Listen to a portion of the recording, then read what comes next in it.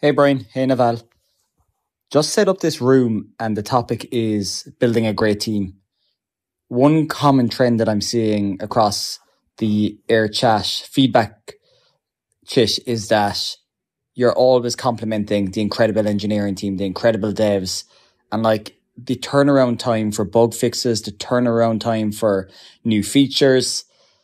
It's incredible. So I'm just curious, how did you set out about building the team for Airchat? What did that process look like? Where did you find the people?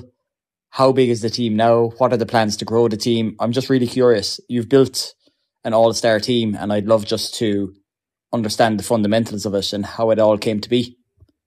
Thanks, Brian. Thanks, Naval. And apologies if this topic has already been covered in depth in another room.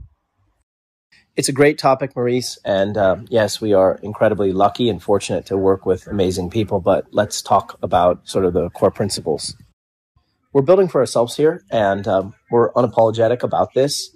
And we've told every single person that works for us that we want to build um, the experience that makes most sense for us, not for someone else, not for an approximation of a person that we believe exists in the universe for ourselves. And so we start with that.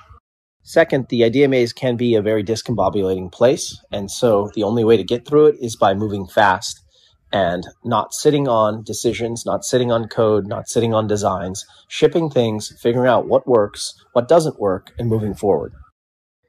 We've been extremely focused on recruiting talent that understands this, that embodies this, and if they don't, then you know, unfortunately, um, it's not the right place for them. So we've constructed a team around the idea that we are going to move obscenely fast every single day, Monday through Sunday.